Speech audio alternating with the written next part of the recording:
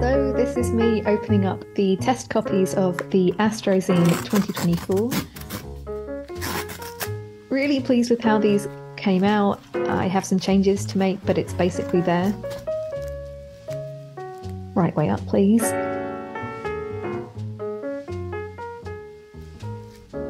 I really love the paper, especially because it's super thick, so it won't go scrappy because you'll want to refer back to it throughout the year.